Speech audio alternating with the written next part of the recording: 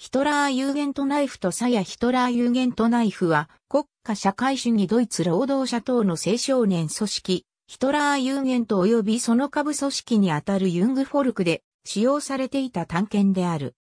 ヒトラーユーゲントでは、党の準軍事組織である突撃隊や親衛隊とよく似た制服が制定されていたが、この探検もまた制服の一部として装備されていた。標準的に支給されているわけではなく、有料団員と認められたものにのみ与えられた。形状は、具98幼獣権に基づいているが、血抜き溝がなく、諸刃ではない点は、第一次世界大戦時のドイツ軍格闘ナイフにも通じる。通常は、握りの部分にエナメル製のエンブレムが埋め込まれており、刃の根本にはライクスズーグメイステリーの刻印が入っていた。1937年には、ヒトラーユーゲントの標語、ブルートウントエラーがエッチング処理によって刻印されるようになったが、この刻印は早いうちに廃止された。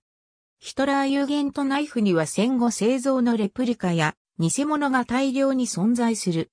また、第二次世界大戦後に余剰在庫となっていたヒトラーユーゲントナイフの一部が握りのエンブレムをボーイスカウト風のフルールドリスに取り替えた上でアメリカへと輸出されている。ありがとうございます。